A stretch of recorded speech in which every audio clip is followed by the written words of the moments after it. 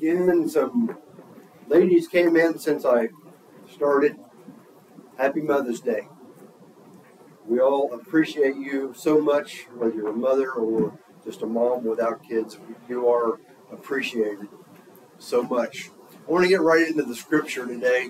Um, John 19, 25 to 27. And as I go through this message, um, like I said earlier, my uh, my mother passed away in uh, 1999, so Mother's Day kind of is is special for me, and I hope it is for you too. Um, okay. Starting in verse 25. Now there stood by the cross of Jesus his mother, his mother's sister, Mary, the wife, wife of Clopas, and Mary Magdalene. When Jesus therefore saw his mother and the disciple who loved whom he loved was John standing by, he said to his mother, Woman, behold your son. Then he said to the disciple, Behold your mother. And from that hour, that disciple took her to his own home. Let's pray. Father, thank you so much for setting us setting an example for us in everything. But then you, Lord Jesus, set an example for us as, as to how we are to love and care for our mothers. Our mothers are a blessing for, from you, and we thank you for each and every one. And uh, I thank you personally, my mother, that is with you and by your grace, I can look forward to seeing her again. I thank you for that, Lord, in Jesus' name. Amen. So, Mary witnessed the crucifixion of Jesus from beginning to end. Can you imagine how she felt? Imagine those of us that have sons. Imagine how she felt. She watched him get whipped and beaten and spit on, had his beard pulled out. All those things that I described a couple weeks ago in the uh, crucifixion. Mary watched that. And then she stood at the foot of the cross. I can't even imagine how she felt. It's difficult to comprehend the agony that she felt as she saw her precious son. Of all people, she knew who this was. She knew that he was perfect and sinless. And she watched all that he went through. And Jesus, while nailed to the cross and suffering in pain that we can't even imagine, turns to John and says, Take care of him. And looks at his mother and, and says, let him stand in my place as your son. And I'm sure after that point, John took Mary on as his own mother. And so let, let's look at this from another viewpoint. Jesus, he's on the cross. He's bearing the weight of the sins of all humanity. He's been through all this torture. He's been through all this pain. His, his father this is the only time where God turned his back on Jesus because Jesus represented sin. And God the Father turned his back. He experienced the emotional pain, the physical pain. And yet, he takes a second to make sure his mother's taken care of. Jesus, as God incarnate, is dealing with eternal matters. But as Jesus, the man, he's showing all of us how important it is to take care of and love our mothers. Jesus cared for her to the end. This not only shows his devotion to his purpose, why he came here, but it shows his love for his mother.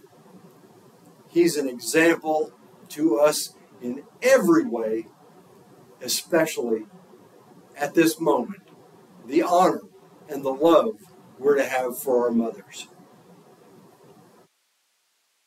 If your mother is still alive, regardless of your age or her age, I'm going to talk about seven different ways that you can love your mother. And I urge you to take notes because this is rather touching. Love her verbally. Basically, tell her. Tell your mother that you love her. Tell your wife, men, that you love her. Some men don't do that. They don't say those three words. They're too proud. Too big. I don't have to say I love you. You already know it. Or, I told you once, if I change my mind, I'll let you know. Or, I show love. I don't have to say it. That may be true, but women, everybody really, needs to hear those words, I love you. I tell my wife every day, and she tells me, we love each other. That's so very important to me. Love her verbally. And one reason I say that is because one time, at some point in time, you may not be able to do that. Um, you all remember a, a, advice column by Abigail Van Buren, um, Dear Abby. You guys remember that? Here's a letter that was written to her. Dear Abby, I enlisted shortly after Pearl Harbor 36 days later, I was on my way to the Philippines. En route to the Philippines, in route, the Philippines fell to the Japanese, and we were rerouted to Australia. Eleven days after we landed, I met the most beautiful girl in the world. On our first date, I told her I was going to marry her. I did, 18 months later, while on a 10-day R&R leave from New Guinea. After more than 57 years of marriage and two children, my beloved wife died five days after Christmas. Although we agreed that our ashes were to be scattered over the mountains, I found I could not part with hers. While my wife was alive, she would frequently say, You don't know how much I love you. And I would reply, Likewise. I could never bring myself to say, I love you. Now, her ashes are on my dresser, where I tell her several times a day how much I love her, but it's too late. Although I wrote poetry to her, I could not bring myself to say those three words that I know she wanted most to hear. As my dear wife was dying, and we thought she was comatose, I told her, there are not enough words to tell you how much I love you. A few hours later, she whispered, Not enough words. And those were her last words. The reason I'm writing is to urge men to express their feelings while their loved ones are alive. I don't know why, but men, many men, are reluctant to express the depth of their feelings. Signed, missing my wife in Colorado. Don't be too proud, men, to tell your wife, to tell your kids that you love them. Because one day, it may be too late. Love them verbally. Love her physically. When's the last time you gave your mom a hug? Last time you gave your wife a hug. That's another thing I'm making a point to do every day is hug my wife, right? I love hugging. My, I'm a hugger. I love to hug people. So if you ever get the urge to hug me, I am open to that. I'm a hugger. But I get that from my mom. Uh, I remember, I can get through this, when I lived in Florida, she would I'd come up here to Florida and she would meet me at the airport, her and some other family members. And my mom, right in the airport, right in front of everybody, would give me a big hug and just squeeze so tight and, and cry and let me know how much she loved me. And then when I would leave, the same thing. Before I'd get on the airplane, she'd give me a big hug. Honestly, it was kind of embarrassing. A grown man in the airport with all these people around with his mom hugging her. She was a hugger. And then in 1999, I got a call from my brother that I needed to come up here because she was in the hospital with uh, cancer, and it was all inside her. And I was up here for six weeks.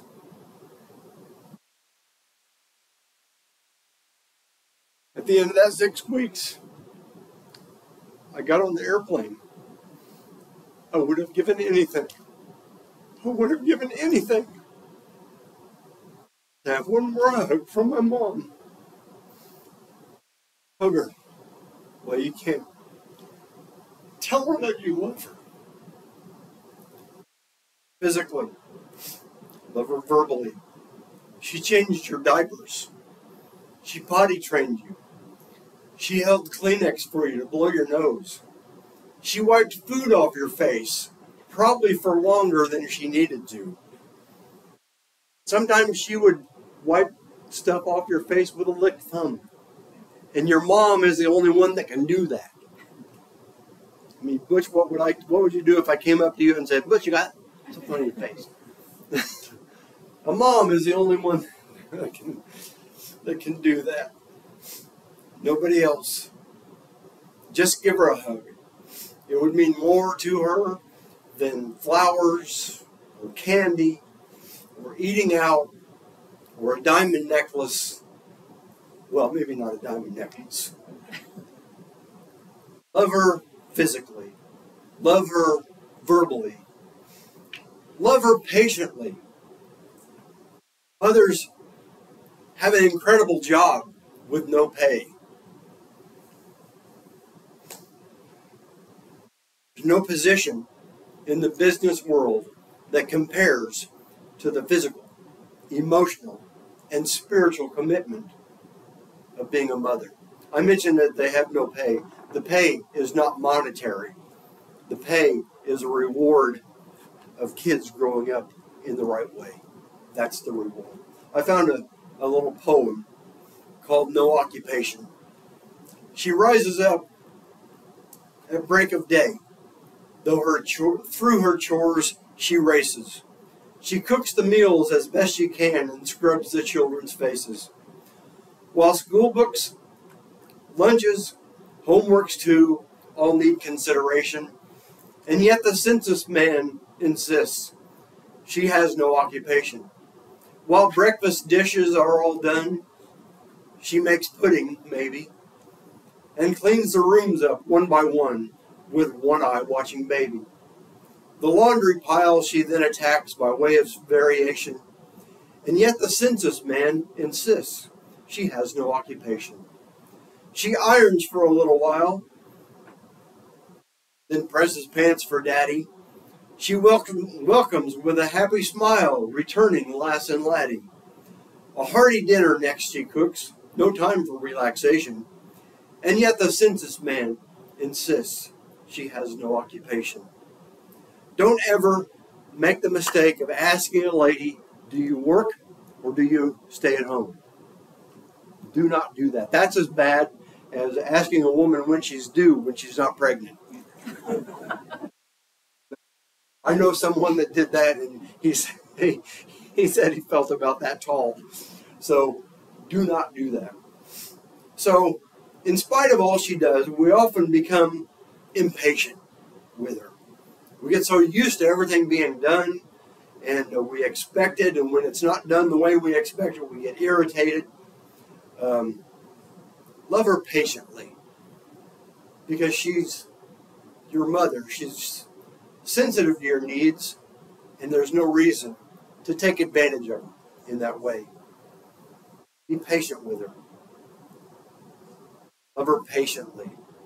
James Dobson, he has a radio show called Focus on the Family. He got a letter from a 80 uh, year old lady on her birthday, on her 80th birthday, that said, To all my children, I suppose my upcoming birthday started my thoughts along these lines. This is a good time to tell you that what I truly want are things I can never get enough of, yet they're free.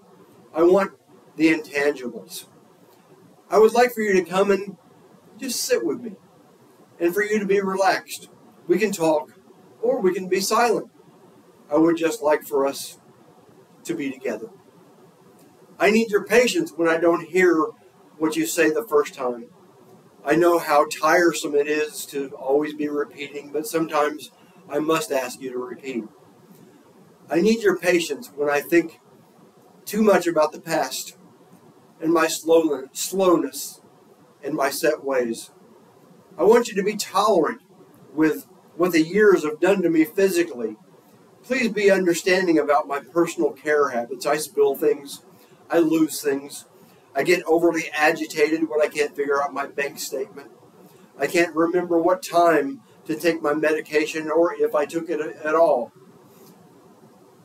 I take too many naps. Sometimes sleep helps pass the day. Well, there you have it. Time, patience, understanding. These are priceless gifts that I want. Finally, in his letter, the Apostle Paul wrote, I can do all things through Christ who strengthens me. I know I can too. It's a wonderful feeling to know his eyes on the sparrow, and I know he cares for me. I guess being old isn't bad after all. Love Mom. Love her patiently. And the fourth one is love her attentively. Love her attentively. Mothers listen. She has a sympathetic ear, and she always has. Even as an adult, you go to her for advice. And again, as someone that has lost her mom, I can't tell you how many times I would love to go to my mom and just get her advice and talk to her. Just talk to her. There was a documentary on TV a while back about um, men who have um, they're murderers, and they were going to be executed for their crimes. Um, they interviewed the men and their mothers, and the mothers almost invariably said, He's such a good boy. And the interviewer would say, Yes, but he killed people. And the mother would say, I know, but he has such a good heart. It's no wonder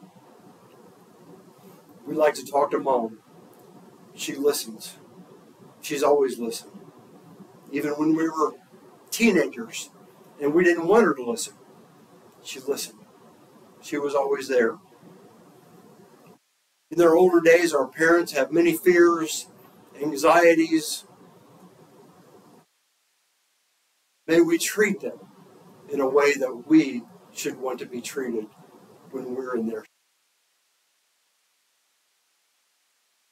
So love her verbally, love her physically, love her attentively, love her patiently.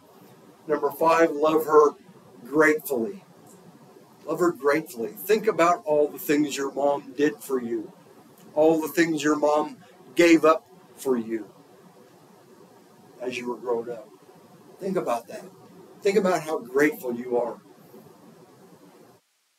Most of you are here today because of your mother's prayers. I know I am. There was a third grade class that had been studying magnets and how metal objects are attracted to these magnets. At the end of the semester, the teacher put this question on the exam. It has six letters, starts with the letter M, and picks things up. What am I? Over half the class had the same answer. Say it with me mother. Mother. She needs a sincere thank you. Your mother does. Not just today, but from every day, from a genuinely grateful and thankful heart. When it's least expected. It's been said of younger parents, you all are living the best days of your life right now because you have your children and your parents.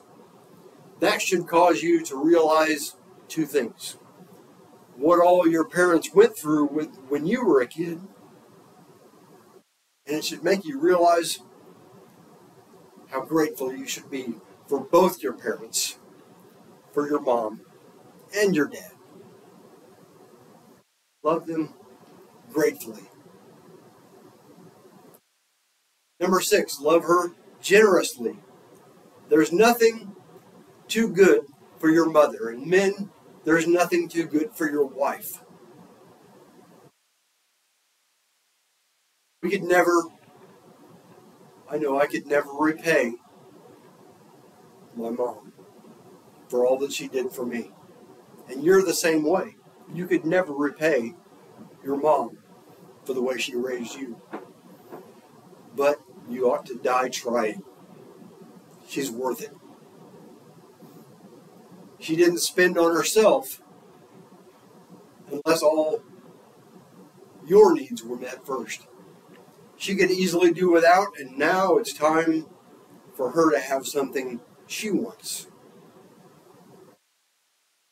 Math teacher asked a question to her class if there are 10 at a table and one apple pie, how much does each one get? One student said one ninth. The teacher said, You don't know your fractions. The kid said, You don't know my mother. If there's that many at the table and only one pie, she don't want any. She sacrificed for you. She deserves. She deserves your love, your gratefulness, your generous uh, gratitude for all she's done. And last, love her honorably. The fifth commandment, Exodus 20, verse 12, says, Honor your father and your mother so that you may live a long life in the land that the Lord your God is giving you. This is binding as long as your mother lives. As long as your mother and your father live, we are to honor them. Now, in Ephesians chapter 6, verse 1, it says children are to obey their parents. That's non binding when you marry and you leave the home. If the husband is the head of the household, the mother is the heart.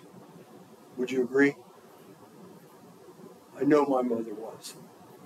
She is the heart, while the husband, the father, is the head of the household.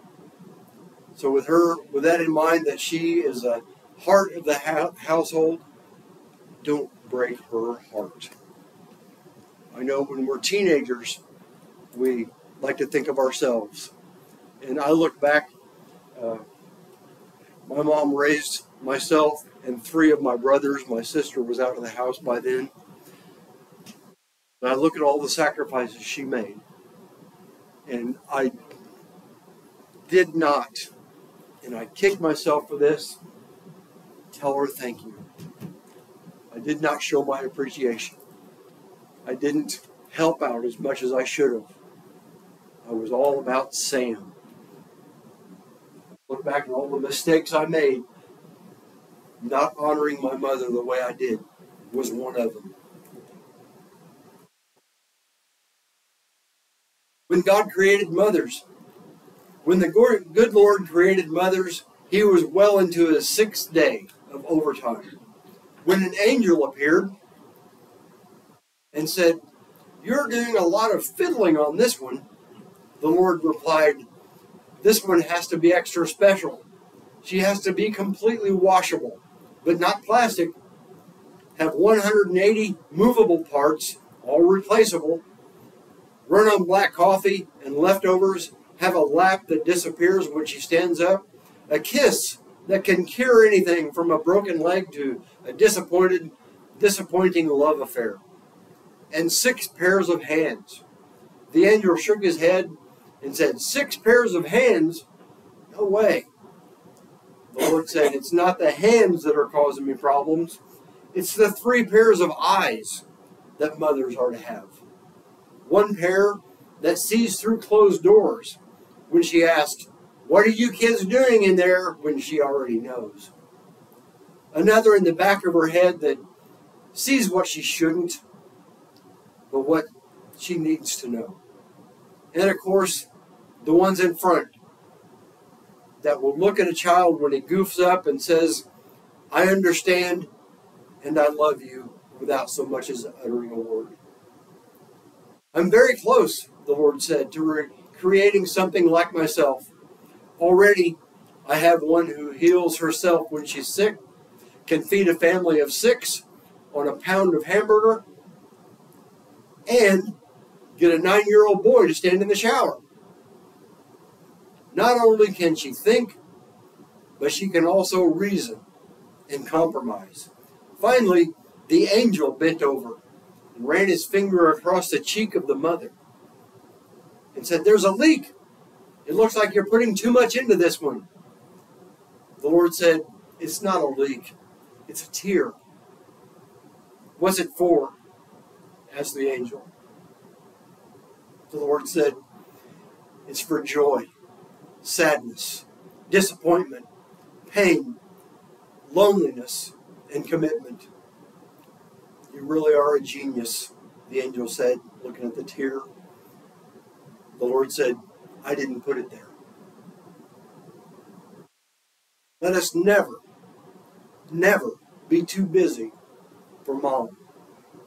Let us never too busy to tell her that you love her, to show her that you love her. Love her verbally, love her physically, love her patiently, love her attentively, love her gratefully, love her generously, love her honorably. In our text today that I read from John chapter 19, Jesus showed love for his mother in every one of these ways. We are to follow the example Jesus sets for us in every way. And loving your mother is no different. Love her in all these seven ways today. Because, like I said, or one day it may be too late. Tell her, show her that you love her. My challenge for you today is to let your mom know how much you love her. Let your mom know how much you appreciate everything she's done for you, all the sacrifices she's made for you, bringing you up. Chances are she's responsible for the person that you are today. And earlier I said she's responsible for you being here. I know without question that I am here because of my mom's prayers. When I was in Florida going through what I always talk about as my stupid years, I know my mom was praying for me. And someone told me not too long ago that my mom told her that she knew someday I was going to be a pastor. I had other plans. I had no idea. Love your mom. Show her. Tell her how thankful you are for her.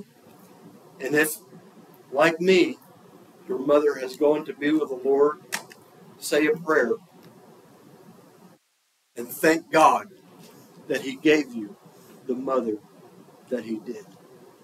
Let's stand and have a word of invitation. Um, if you need to just come down here and pray and tell the Lord, thank you for my mom. Do that. If you need to talk to me, if you need to just pray about anything, that's what this is about. Page four seventy-eight. Four seventy-eight.